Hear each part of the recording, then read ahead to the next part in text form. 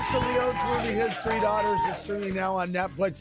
Emma Roberts' show, Tell Me Lies, Wednesdays on Hulu. She's an executive producer. We may be getting to see her, we may not, we don't know. Madison's podcast, 21 Questions, launches this fall wherever you get podcasts. Kelly Bensimon is here. Great to see you. I read in the papers that you broke off your engagement. I did. Like, kind of uh, maybe a month before you were going to get married. Um, four days.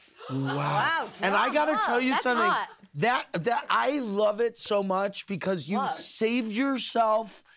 Like I just feel like that was so strong of you to do. I Thank you. You know what I mean? Like, Thank you. if it wasn't you. work, you just saved a lot of tumult. I know? did. I Yeah. did. Why? Uh, it was just, you know, first of all, he wouldn't sign my prenup. Um, Oh.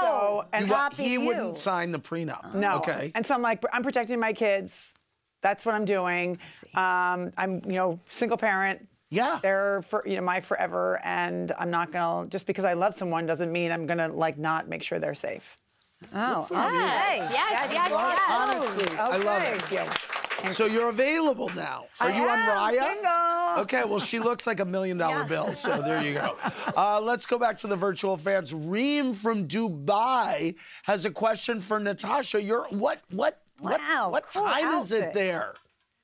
It's 3:30 a.m. right now. Good. Wow. Oh, girlfriend. Thank you for doing this. What's your question for Natasha Lyonne?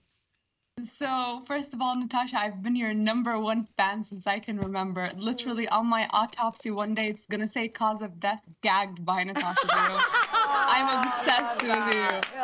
That's So, my question is, what has been your favorite part of working with Steve Buscemi for the film Klara and the Sun? Oh, thank you. Uh, you look very cool. Uh, uh, I love Steve. We had a lovely double date. We walked around. We're in New Zealand. I mean, he's just a rock star of a human being, and he's uh, such a such a good soul. I always uh, sort of look up to him as an icon of.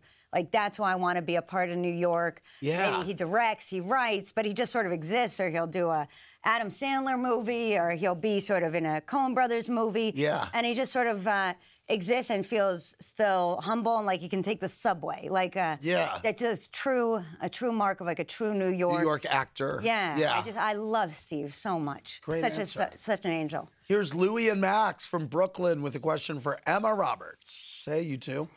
Hi, Angie. Hi, Natasha. Hi, Emma. You all look amazing. Oh, Thank you. Emma, how do you rate your movie Madame Web on a scale from 1 to 10?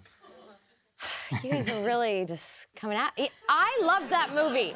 I loved it. I think it's a 10. All and, right. And you know what? If you guys saw what went into making that movie, like you would give it a 10 too. I mean, I I really I enjoyed it. I loved it. Very good. I give it a 10 too. Thank Thanks, you. everybody. Thanks, Natasha.